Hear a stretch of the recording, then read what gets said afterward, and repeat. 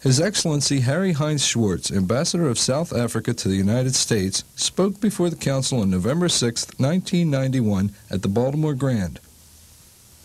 Ambassador Schwartz's address is entitled Freedom is Not Complete If It Is Exercised in Poverty. Introducing the speaker is Mr. Charles W. Cole, Jr., President of First National Bank of Maryland and co-chair Board of Trustees, the Baltimore Council on Foreign Affairs.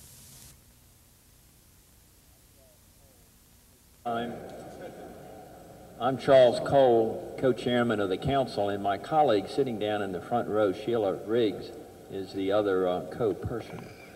Um, Dr. Frank Byrd, our distinguished president, of, is of course with us tonight, and he will conduct later on the question and answer period. As a personal note, I spent all morning working on strategic direction at my principal place of employment for our international division, and then all afternoon sitting in on a panel uh, where the discussions was taking place on consolidation of two of the universities of Maryland's principal uh, colleges. In other words, a domestic challenge. And then this evening, of course, we're back in the international area, so it's a day of going kind of full, full circle. The last time we were together, the Vice President of the United States uh, was here. It was certainly a wonderful turnout. It was a unique experience for the, for the Council. And tonight we are continuing with that same quality theme. Our distinguished uh, speaker tonight is an outstanding individual, so to be certain that I don't miss uh, any of his background, let me uh, proceed to, uh, to read, read uh, the background to you. Our distinguished speaker is a truly remarkable man of courage and principle, Ambassador Harry Heinz Schwartz, the South African ambassador to the United States. The fact that the Ambassador Schwartz holds such an important post in his government is a testimony to the profound changes sweeping South Africa today. A veteran member of the anti-apartheid opposition in the South African parliament, he was at the time of his ambassadorial appointment, a member of the Parliament, a Democratic Party spokesman on finance, and de deputy chairman of the Parliament Standing Committee on Finance. For many years, Mr. Schwartz has been a strong advocate of human rights for all South Africans and for negotiations to formulate a new democratic constitution. Ambassador Schwartz emigrated to South Africa with his parents, Jewish refugees from Nazi Germany. His distinguished public career began in 1951 when he was elected to the Johannesburg City Council. It's a beautiful city, I've been there. He held, he held several posts in the United Party and in 1975 led a breakaway group which became the nucleus of the Reform Party. Mr. Schwartz was later a founding member of the Democratic Party, which was formed by reformers from across South Africa. Today, despite his governmental post, he retains his membership in the Democratic Party. A lawyer by profession, he holds the Order of Meritorious Service, which is awarded to South Africans who have rendered exceptional service. Ambassador Schwartz shares President de Klerk's view that the dismantling of apartheid is irreversible and accepted his current post only after receiving assurances that the South African government is sincerely committed to full democracy and power sharing. He has been an unwavering proponent of a market economy and has pressed his views in public debates with other leaders in South Africa.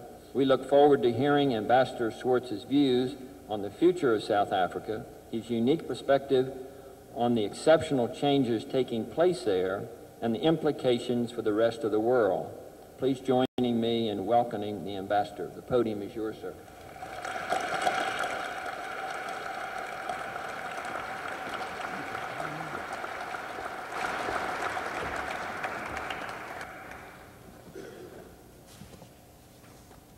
Well, ladies and gentlemen, I think that after that introduction, the safest thing that I could do would be to go back to Washington and say nothing at all, uh, because perhaps uh, I might spoil it all.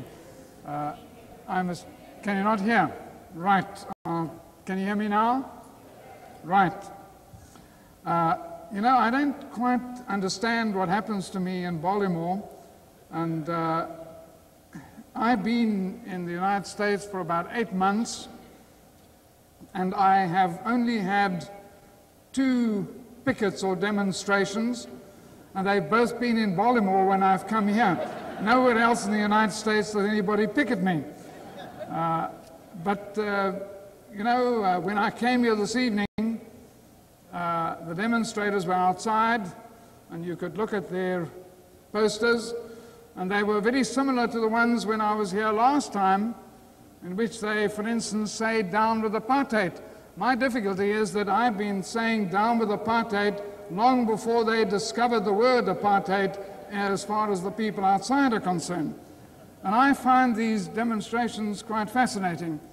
Uh, this evening was perhaps a little more fascinating than most because uh, I went to each one of the demonstrators, I introduced myself, I shook hands with them, and the one gentleman proceeded to thank me because he had had a problem in South Africa. And even though he was demonstrating against me, he had been in touch with me. He'd asked me to deal with one of the ANC activists in South Africa that he was worried about and that he was concerned about, and that he hadn't been able to get any answer from his own people for very many months. So the South African ambassador provided him with a service, as a result of which he decided to come and demonstrate against him, but at the same time to thank him. But you see, maybe uh, my, this, this sort of thing about uh, Baltimore has got a longer history than just the, the events that are taking place now, because uh, when I've been not in Baltimore, but in a Baltimore, I've also had people shooting at me and trying to knock me to the ground because it may interest you to know that in the Second World War, I flew 72 sorties in an aircraft called the Baltimore, which was manufactured and made just down the road here by, I think it's the Martin Company, which I think now has a slightly different name. And uh, I must tell you that uh, you bear in mind that having been in that Baltimore, having had the Germans try and knock me down, you will appreciate that being in Baltimore tonight, a few demonstrators are sure not going to knock me down.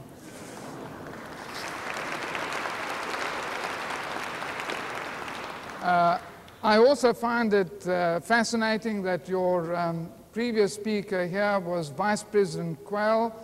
Uh, I obviously can't match him in any way, nor will I try to do so, except to tell you that he's my neighbor. He lives, I live across the road from him, and uh, I have pointed out to him that I know exactly when he comes home at night because there are sirens that wake me at 2 o'clock in the morning. Uh, there's a helicopter that flies over my house. So I have a very close connection with Vice President Quayle, uh, if only for the noise that he makes when he comes home. Uh, and perhaps that's why you chose me to follow him here, as I have this connection with him in that regard. Uh, you know, ladies and gentlemen, the topic that's been given to me tonight is uh, freedom is incomplete if it's exercised in poverty. And you know, throughout most parts of the world, the cry today is in fact for democratization. And such words have been turned into action in very many countries. Everyone talks of democracy, some people practice democracy, and of course, different people have different meaning to the term democracy. And today, very often, people think democracy, and certainly in the case of the people outside, and very many people inside my own country, take the view that democracy, all that it means, is that you have the vote. The problem is that there's much more to democracy than the vote. Sure, the vote is essential, but true democracy is not merely that you go every so often, every so many years, and either put your cross next to somebody's name or press some computer button which uh, signals that you support a person who most of the time you don't even know, whom you've never seen, except perhaps in pictures. There's much more to it than voting in that context. What in fact democracy also means is that in fact you must have rights and must rights have rights which are protected. It means you've got freedom of speech. It means you've got freedom of religion. You've got freedom of assembly. You've got all these things which you yourselves have in your constitution. And you see, what some of us are trying to do in South Africa is to create for our own people nothing more, nothing less than what you have got as American citizens. And I think that's not asking to achieve any particular situation. And you know, the truth is that you yourselves are critical of your Constitution. You're critical of the delays. You're critical of the fact that it creates problems and some people seek to abuse it. But the reality is that it has stood the test of time and it has given protection to people over years and years. Now, what we have to do in South Africa, we've got to create a new constitution, not a constitution for which anybody is giving us any length of time to do, but suddenly everything has got to move and has got to move fast. Since President de Klerk came to office, it's only a very short while ago, February 1990, and he has, during that period, achieved much more in regard to change in South Africa with a minimum degree of violence and disruption. Unfortunately, some of it hasn't been able to be avoided. It has happened much as we have not wanted it to happen. But he's achieved all those changes in that period of time, so much so that even the most severest critics will admit when you talk to them that they never expected to see so much change within so short a period of time. And that has been achieved, has been achieved because people in South Africa have now got a different mindset to the problem. They realize with the process of democratization throughout the world they realize that an unjust system cannot continue forever. And they realize that you have to sit down at a table in order to see that you solve the problems a in a peaceful manner. But that does not mean that the whites in South Africa, for example, should be without rights. They must be without privilege, but they must not be without rights. Because in the same way as no other South African, whether black or, or colored or Indian as we have them in South Africa, as the terms are called, should not be without rights. No human being should be without rights, and those rights need to be protected. But you see, and this comes to the theme of, of what my particular topic is tonight. Does it really help you if they have the franchise? If in fact you have no job, if you have no house, if you have no proper education for your children. The reality is that the issue of voting starts taking place when you yourself are a deprived person. If you are without a home, if you're without a job, then the franchise doesn't have the meaning that it should have. Certainly, freedom is important. Freedom is fundamental. It's what people fight for, what people have died for. But at the same time, freedom, as I've tried to put in the topic here, is incomplete if you exercise it in poverty. And the greatest challenge to South Africa is not the ability to write a constitution. We can write a constitution. It's not that difficult. And in fact, there are many things in common which the parties have where they will be able to find each other quite easily. Let me give you some examples. We all agree that there should be a universal franchise, that everybody should have the vote. We all agree that there should, in fact, be a Bill of Rights. We all agree that there should be an entrenched constitution. What we don't agree on is the nature of the constitution. Some people want, like myself, a federal constitution, such as you have in the United States. Other people want a unitary constitution, such as exists in Great Britain. We're going to come to terms on it. It's not that difficult to come to terms in relation to these things to work out a constitution. You yourselves have a history in terms of which it wasn't so easy to draw a constitution. We had great difficulty, but eventually you virtually unanimously adopted a constitution and you've had relatively few changes to it for a long time.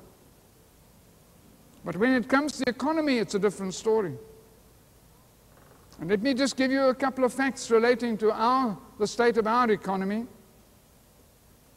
At the present moment, 42% of our workforce unemployed. 42%. Think of your own unemployment figure and compare it with ours.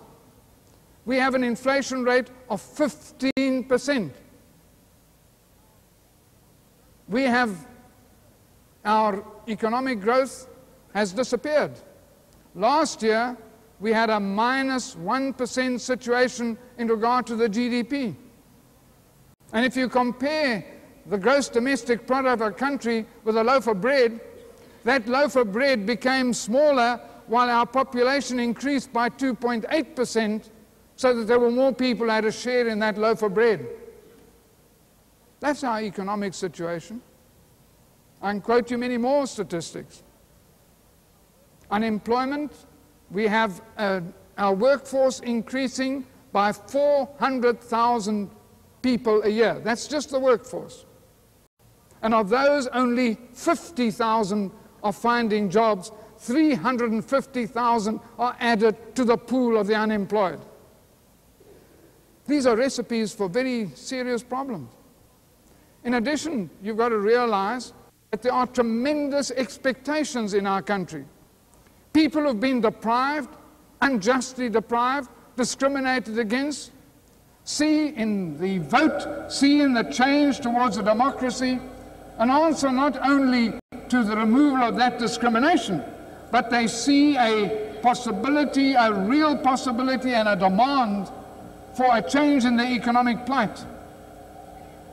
We have a need at the present moment of our, in our population, which is 40 million people, for something like 2 million houses which need to be provided. And around our cities, people are living in shanties and shacks because there's inadequate housing. Now, people who look towards political power as an answer to the economic problems have expectations which, if they are not fulfilled, create serious problems for a new democracy. And one of the messages that I've tried to put across is that if, in fact, you believe that there should be a democracy in South Africa, then one must give that democracy a chance of survival. Because if the new democracy cannot deliver to its people what is expected from them, then you will find that democracy in jeopardy. And I said to someone, said to some people this afternoon, that this is not very dissimilar to Eastern Europe, where there are tremendous expectations from the change from a command economy to, in fact, a free market economy. People have tremendous expectations that everything is going to be marvelous overnight. But you know, that life is not like that. On the contrary, the road from slavery in Egypt, as the Bible tells us, to the promised land took 40 years and it was full of troubles and trials and tribulations. And on the way, people became despondent.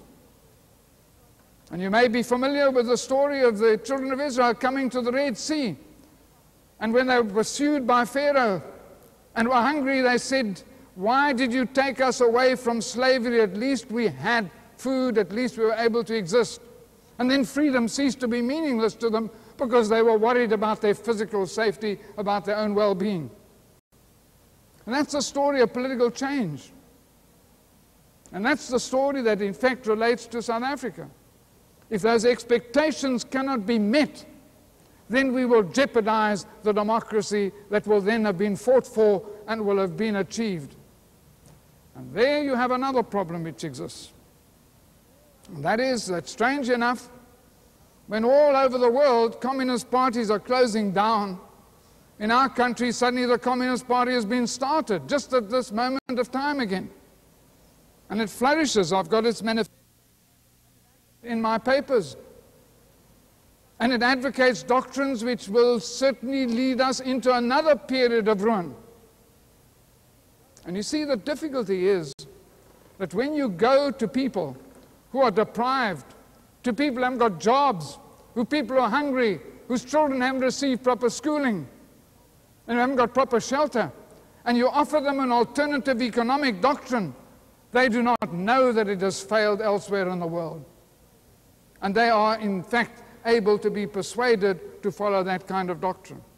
So, one of the things that we've got to do in South Africa is we've not only got to rebuild the economy, but we've also got to have a debate about what is the correct economic policy to follow.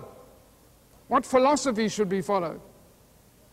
What, in fact, should be the kind of economic engineering that we indulge in? All of this is a challenge, in fact, to our country as to what needs to be done. And you see, that's where the theme comes in. Freedom isn't complete when it's exercised in poverty, because in fact, freedom and democracy are jeopardized when people are living in poverty because then they turn to alternative doctrines, they turn to quick fixes, they turn to the wrong policies, and they become gullible to the promises of politicians. And I know all about promises of politicians. I was one for 40 years.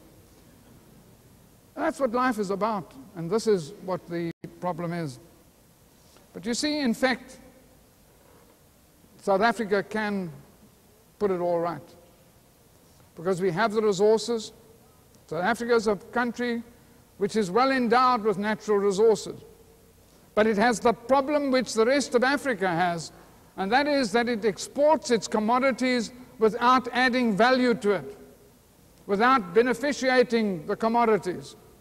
It exports them elsewhere to the industrialized world, and then it buys it back at a higher price.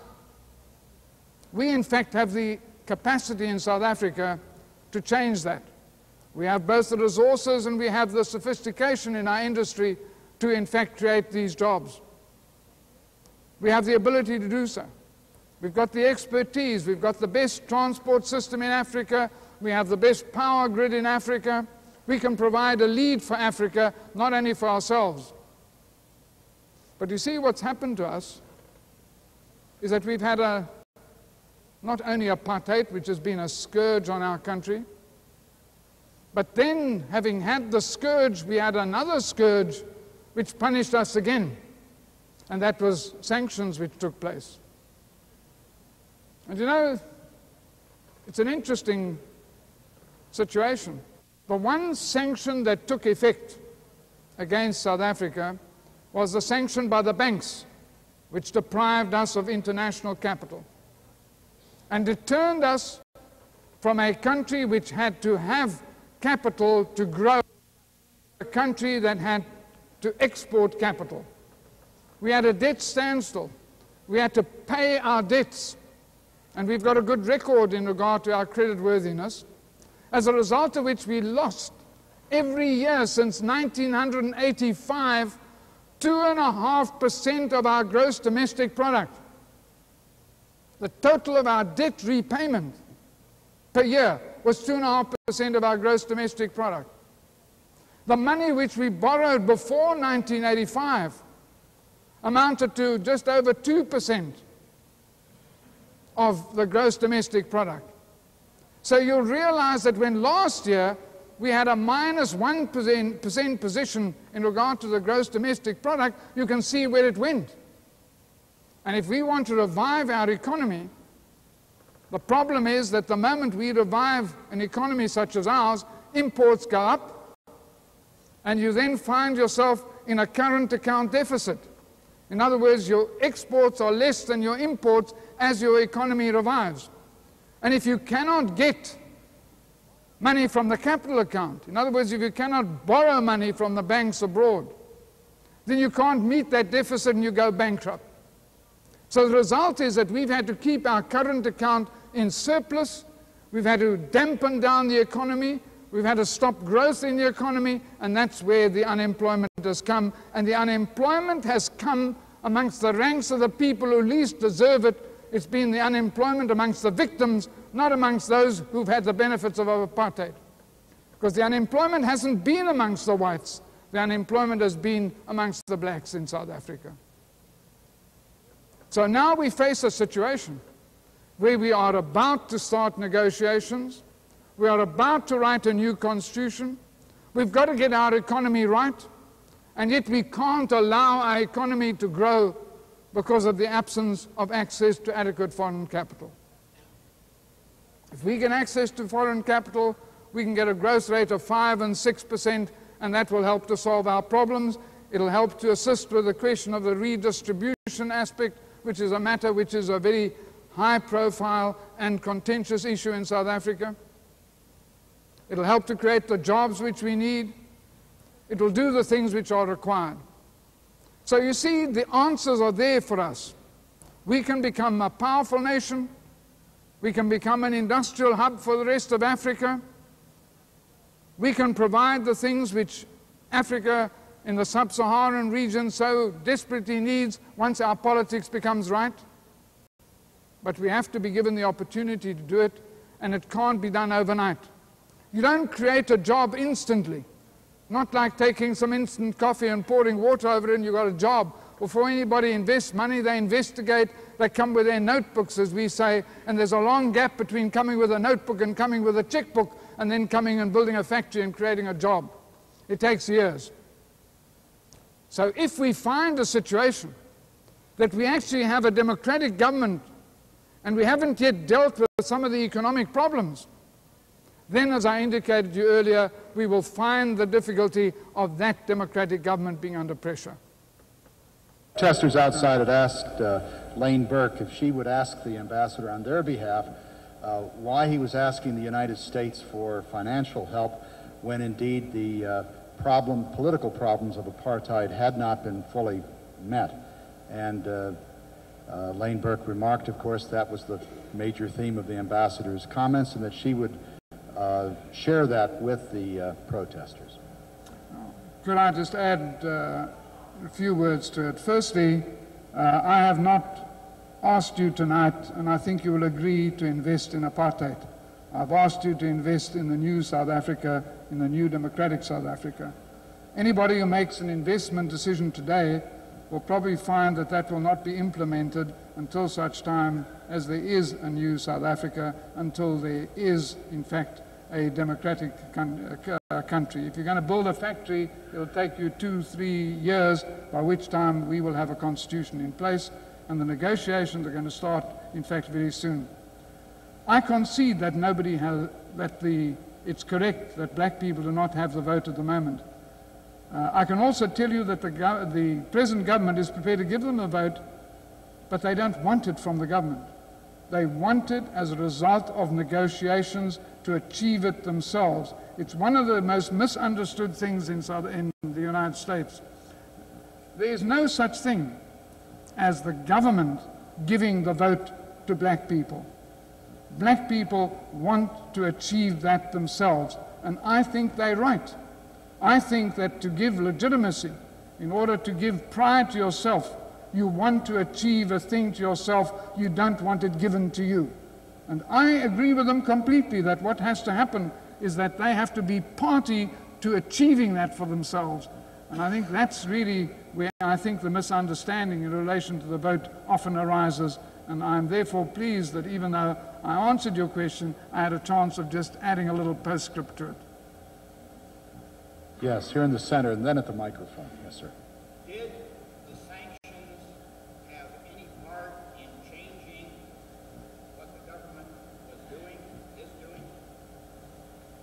The question was, have these sanctions, in fact, changed government policy in South Africa?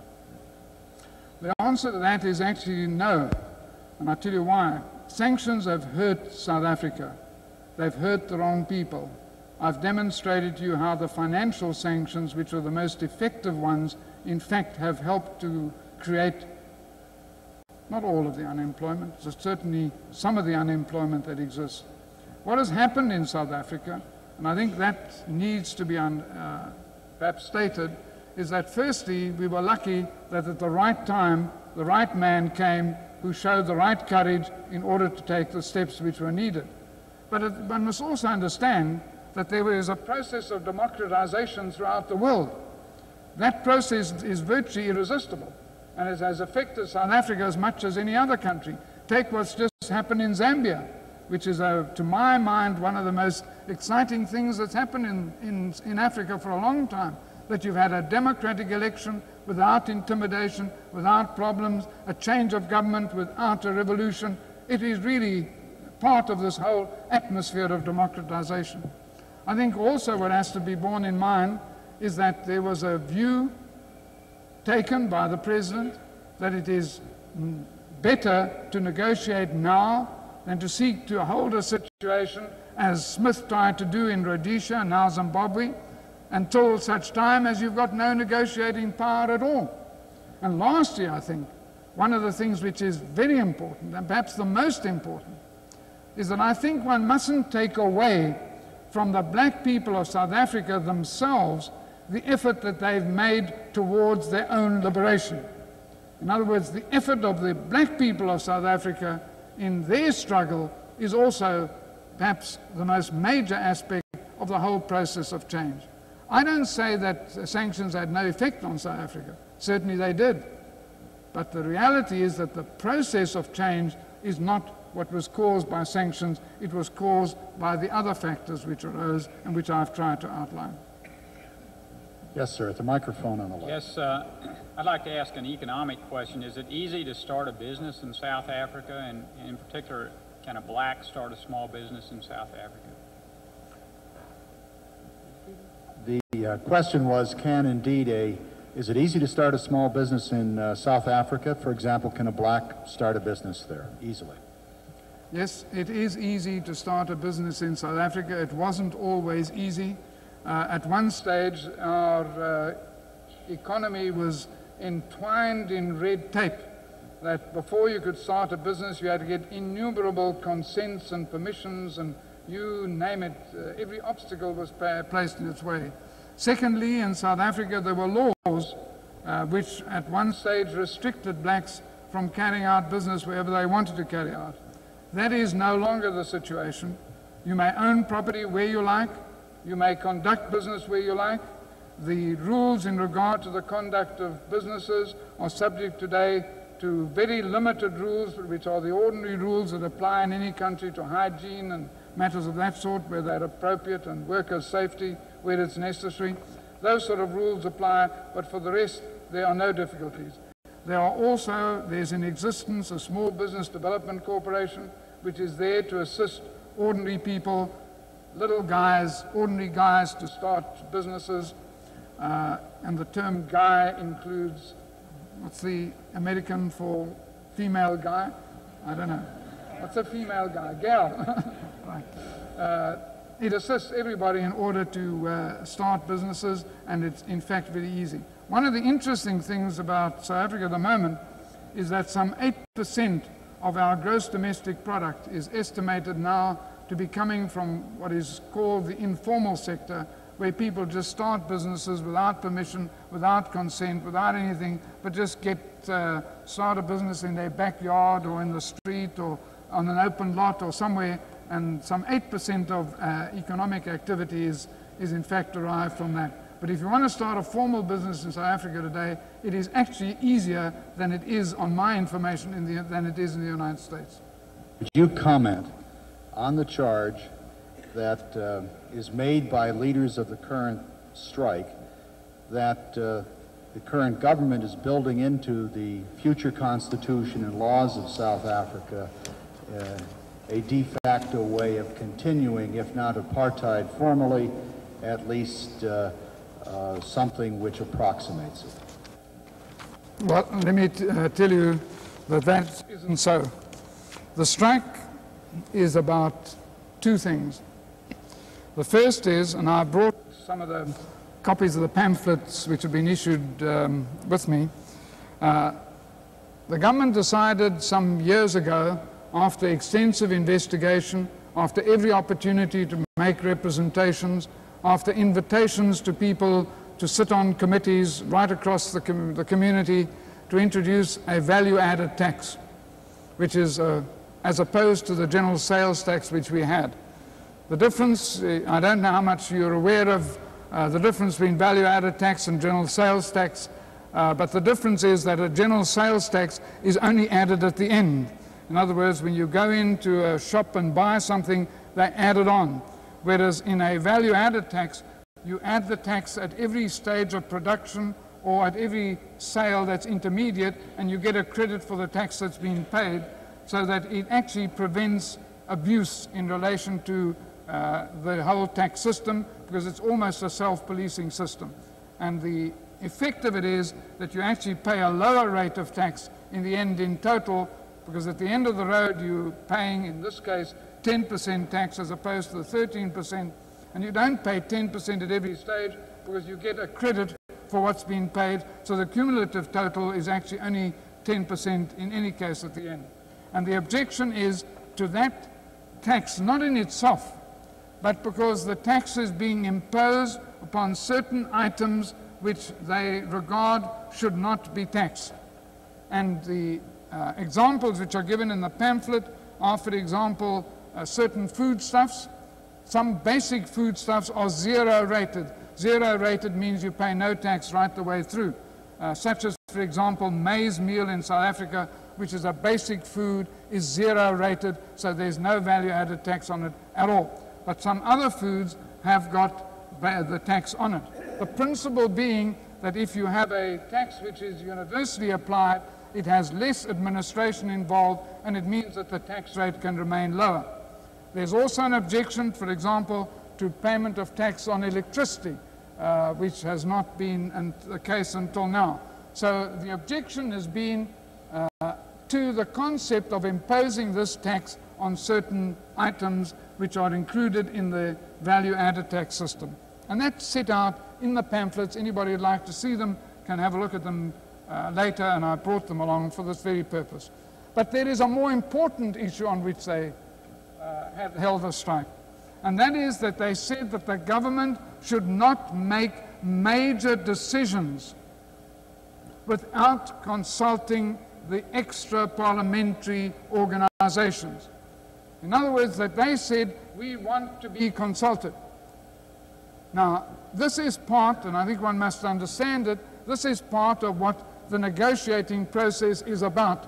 Because in the negotiating process, mass action, such as a strike which has taken place, is one of the weapons which is being used in the negotiating process in order to give people leverage. And this is the argument which, in fact, has been advanced. It has not been advanced that this is uh, a trick in order to preserve white supremacy. That argument hasn't even been advanced to the people uh, in the pamphlets or in the speeches. That's an argument that we've heard here from people who've advocated it in a completely different form and have distorted what even the case is which is made out in South Africa. There's been a strike for two days. Uh, very many people stayed away. I think from the organizers' point of view, it was a successful strike. But bear in mind, bear in mind that those two days away from work by the people who did work and who have got work has actually cost us, if you work it out, both in wages lost, in production lost, in the whole sum total of it, again, about approximately comma 2% of a comma 2 of a percentage point in the gross domestic product. So every time you do this, you actually make the task of reconstruction a little more difficult. But at the same time, I want to tell you, I can understand people wanting to use their muscle in order to demonstrate that you must consult us, you must deal with us, and use this as part of a process in what is taking place in regard to the negotiations. So, whereas I don't like the strike, I think the strike has cost us economically what we can't afford.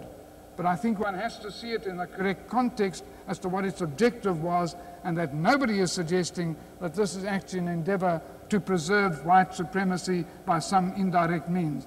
I must tell you, if, if VAT, would have, if the value added tax would have been introduced five years ago, nobody would have said a word. If it were introduced in five years' time after a democratic government is in, in, in, power, there wouldn't have been a, a complaint. Because in fact, it's a very efficient tax as opposed to an ordinary sales tax. And in fact, it is imposed in some of the states in the United States. It exists in the whole of the common market in Europe it is universally accepted as a correct means and a fair means of taxation. Yes, sir. I find your presentation persuasive that the vote component must be connected with the sound economic component. but I find it difficult to know my mind on the subject because whereas your, presentation sounds sound to me, and how can we guarantee, I guess, is the critical thing that both components will go forward together. But I'm a member of the Anglican Communion, and through the channel of communications that come to me via that uh, Bishop Tutu and, and the uh, church down there and the Episcopal Church here, such that um, we get the story that it's the request of the church in South Africa, Anglican Church, that wants the sanctions continued because it is the greatest help. And our convention passed a resolution to be sent to our president. Please do not let the sanctions be stopped. Now, what is the communication, therefore, between uh, your government and the church leaders, and to what degree are they thinking soundly about this connecting of the vote with the economic component? Would you comment on that? Yes, let me tell you um, what you're saying about the Anglican Church is absolutely correct. Uh, they, at the present moment, continue to advocate sanctions. Uh, I may tell you that the Catholic bishop, sorry, uh, what I've said is that the, what the gentleman said in respect of the Anglican Church in regard to advocating sanctions is completely correct at this stage. That is still their view. I also wanted to add that the Catholic Bishops' Conference, which took the same view previously, has now changed that view and has said the time has come to remove uh, sanctions. So bear in mind that not all religious leaders have the same view in this matter. But let me tell you that I think that there are reasons why people advocate sanctions. There are two tools available in the negotiating process in order to give advantage in those negotiations. The one is the mass action that I referred to earlier, and the second is the question of sanctions. In other words, in the negotiating process, those two things are sought to be used as bargaining chips. And if you talk to the leadership of a number of the black organizations, not all, they want sanctions because they want to maintain this particular bargaining chip in the process.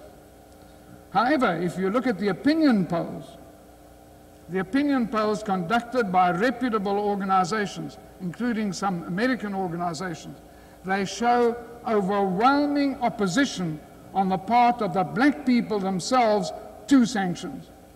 In other words, they do not want sanctions and do not want them now. And the view have changed in some respects because obviously there was a different political setup before de Klerk's reform started than there was afterwards. So that the opposition to sanctions continue is even stronger now than it was before de Klerk took, that, took those steps. And the reason is that the process is actually irreversible. Uh, nobody can stop it. It doesn't matter whether de Klerk wants it or even if by some accident of uh, fate the Conservative Party in South Africa got into power and tried to stop it. Nobody can stop this process. It's, it's got its own momentum. It's got a historical inevitability. And that is why people now believe they are no longer required to make any sacrifices. They have been told by people that sanctions will fall, will cause the white government to change, and therefore you must make sacrifices. If that argument is correct, if the, the question was directed to me whether it did persuade them or not, I don't think it did. But if it did, if it was correct, and I'm wrong in this, then in any case the situation has changed and it's no longer required. So you have at the present moment a difference between the leadership and an understandable difference because they wanted in this bargaining process, and between the people themselves who don't want it. And strange enough, I must tell you, that the opinion polls demonstrate not only is there support for the concept that there should be no sanctions amongst the unemployed, but the ratio of support is the same amongst the employed. And it's virtually the same at all different age levels. So it varies slightly, but it's, it's the same trend.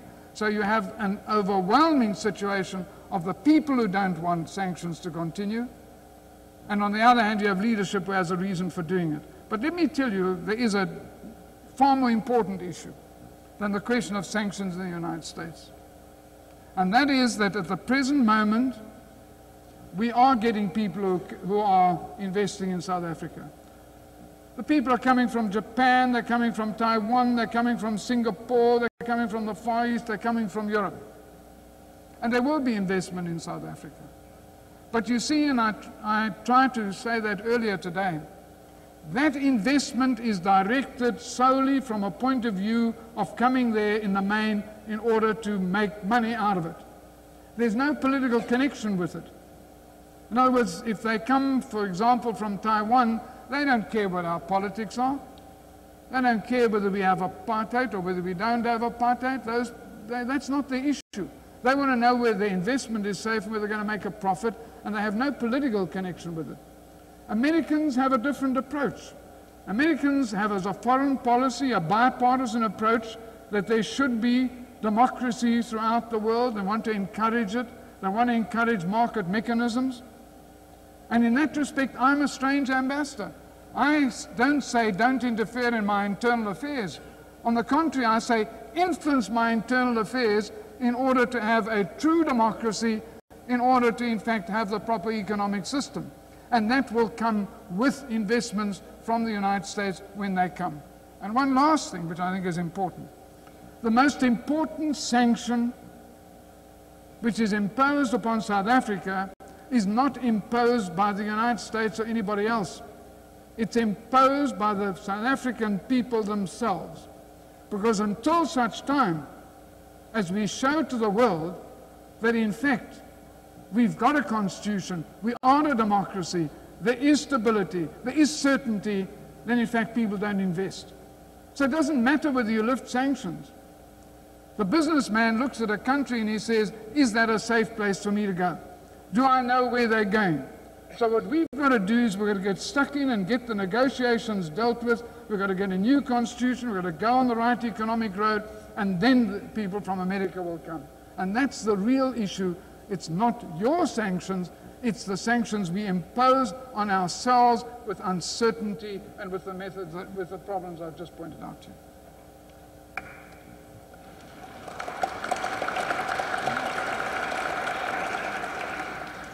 Yes, ma'am, on the left. Yes, Ambassador, I'd like to welcome you to Baltimore. And uh, I would like to know how long is it going to take? Because the OAU, the Organization, Organization for African Unity, has stated that South Africa is holding up the whole of Africa. People are starving, dying, and the underlying objective might be to decrease the black population. So, Ambassador, how long do you think it will take before two dogs are fighting and the other dog is running away with the bone? Uh, while the black and the white are fighting, your, your, uh, your, Europe, your Oriental and your Asian community is coming in and reaping a lot of the profit, as you said yourself. So how long is this going to take before the black and white get their heads together in Africa, in South Africa? Well, let me tell you, um, uh, I, by the way, just to, to get the thing absolutely clear, uh, I got no problem with uh, Asiatics in South Africa investing or otherwise. I merely tried to demonstrate. I said, I've got no problem with Asiatics or anybody else investing in South Africa. Uh, I'm not a racist, I'm a non racist person. All I tried to demonstrate was the fact that in your case you have a political interest in it, whereas in the other case it's purely a business interest. The other people do not have the kind of political interest that Americans have when they do invest. That is the point I'm trying to make. I think you've asked over a very important question because the future of South Africa, once it becomes a democratic country, once the politics is out of the way, is very important for Africa as a whole because we can provide the impetus because I outlined earlier the kind of sophistication that we have and the kind of development we have, which can be invaluable to the whole of sub Saharan Africa. And I think that Africa has tended to be the neglected continent, and we've got to make sure that, in fact, it is built up. And that's why I talked about the export of raw materials, the beneficiation, all these things. And you then ask the question very pertinently and very correctly how long is it all going to take? Now, I can't guarantee you anything, but I can give you some facts. as I know them. Number one, I believe that everybody is ready to start the negotiating process in South Africa now. And I think there's a prospect, a very real prospect, that that process will start before the end of this year. In other words, people will actually get together at a multi party conference and will start the whole process this year. So I'm hopeful that in fact things will happen very quickly from now on. And that is why I must tell you I'm I was fearful of the strike because I thought that might be something which could derail the process. Because let's be fair, there are people in South Africa on the extreme right and on the extreme left who want to derail this process. They want to derail it. They don't want it to work. They don't want the people to get together. They don't want to find a solution to it. They have different agendas, both on the extreme right and the extreme left. And you all have to do is to look at the pictures to what's happened in South Africa with some of the violence, and you can see the whole thing in a clear perspective that they don't want the process to work. And therefore, I was pleased that the strike came off without undue violence. Now, you may say to me immediately, but 19 people got killed. And I agree with you, that's pretty terrible, and I think every human life is valuable. But when you look at the possibilities of what could have happened, it actually could have been so much worse, and therefore I was happy because we're so close to a negotiating process that the strike went by with a minimum loss of life, even though every life is a very valuable thing. The second thing in relation to time is there is an outside time limit for a new constitution. And the outside time limit, we are now at the end of 1991, the outside time limit is the end of 1994. And that is because the president has said, that's our president, has said there will never be another election under this constitution. There will never be another whites only election in South Africa. He means it, he will carry it out. In other words, that's the outside limit at which this has to be done. So that by then the new constitution has to be in being. I hope it'll be a lot earlier, but I also hope that the constitution will go, as I say, side by side with economic development. Because if you talk to people in South Africa, you will find that they are concerned about the tremendous gaps in wealth, in income, in skills, in opportunity issues relating to education and training. There are a dozen things which I can mention to you. So the economics has to go with the politics, but I hope that we will certainly make it long before 1994, but that's the outside date. Yes, ma'am. Yes. Um, in response to your remarks concerning rights being the major issue as opposed to votes, um, I would contend that in a democratic society, the right to choose those individuals who will represent you is a basic right.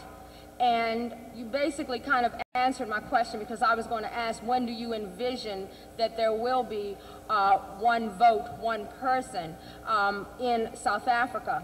But I don't, I don't feel that the right can be taken away from the right to vote, that both of them are synonymous. In response to your remarks about um, giving blacks the right to achieve the right to vote as opposed to giving it to them, would you please clarify for me what is the difference and the process for allowing blacks to achieve the right to vote as opposed to the government affording them the right to vote?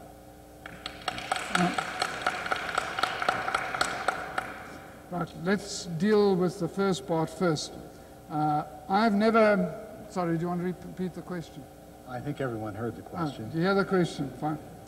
Uh, I've never suggested for one moment, and if uh, anybody understood me in that way, I certainly didn't intend to convey it, that the right to vote should not be included in the rights which people have. All that I tried to say was, and I repeated, that democracy means the right to vote, but it also means other rights which have to be protected. And that is what, to my mind, democracy is. I certainly agree with you when you say that the right to choose who should represent you is an absolutely fundamental right. It's part of what democracy is all about. And there's no point in having rights of a different nature, such as, say, the right to assembly or the right to free speech, if you haven't got the right to vote. I'm with you 100%. The distinction between giving and between achieving, I think is very clear. If, in fact, the government were to give the vote to black people, it would give it in terms of a constitution which it would prescribe. Blacks do not want a vote in terms of a constitution which the government is going to prescribe. They want a vote in terms of a constitution which is acceptable to them. And there's a very big difference between exercising a right to vote in one kind of constitution and exercising a right to vote in another kind of constitution. I think we all know that. We can give lots of examples from the extremes of having a right to vote in the Soviet Union, which existed, or a right to vote in a one party state which existed in Africa, or a right to vote in a democratic system such as the United States, or a right to vote in a different kind of constitutional dispensation. You can actually have a right to vote in a constitution which, in fact, doesn't really give you the true right that you want. And that's why black people in South Africa will want, and I know they want, a participation in the forming of the constitution within which they will exercise the right to vote. And many black people, and many black people in South Africa say, we don't want anything given to us, it's our right. It's not for you to hand it to us. You're not doing an act of charity to give us the vote. In fact, the attitude is, it's our right which we rightfully demand. And I must tell you, I happen to agree with that. I don't think it's for me, as a white in South Africa, to say to somebody, I will be gracious enough to give you a vote. I think that would be an impertinence on my part. I do agree with you in that aspect. However, what is the process that is in place for both, both sides to sit down to identify that so that that can happen in a timely fashion?